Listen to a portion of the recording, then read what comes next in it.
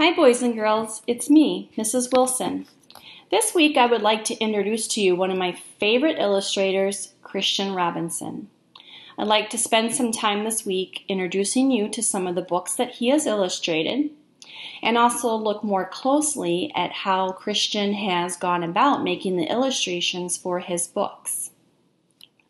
One of the books illustrated by Christian Robinson is called Schools First Day of School. And this book is illust- uh, written by Adam Rex, and of course, illustrated by Christian Robinson.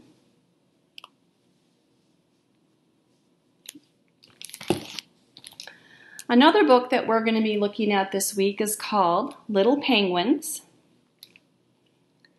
And this book is written by Cynthia Rylant.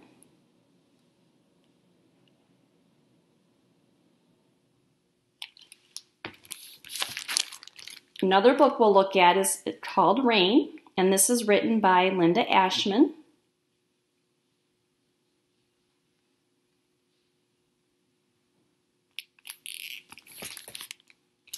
And we'll look at Last Stop on Market Street. And this book is written by Matt de la Pena.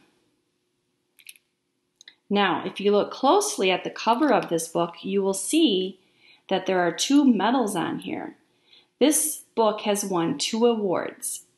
It has won an award for um, the illustrator called the Caldecott Honor Award, and the author also wrote um, earned an award called the Newbery Medal.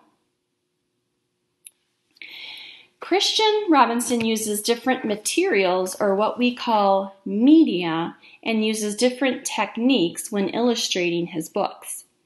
His favorite media is cut paper and acrylic paints, and his favorite technique is called collage.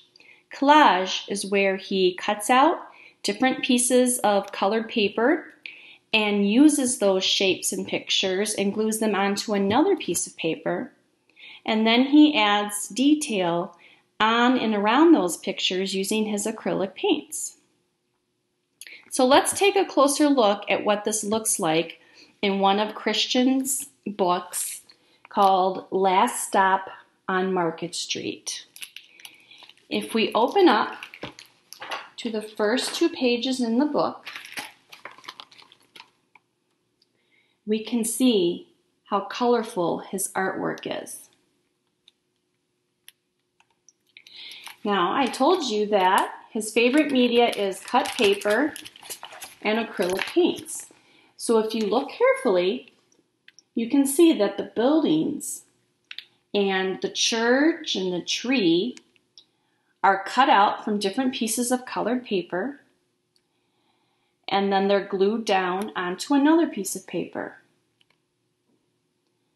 Then he has used his acrylic paints and he has added more details to the illustrations in his book.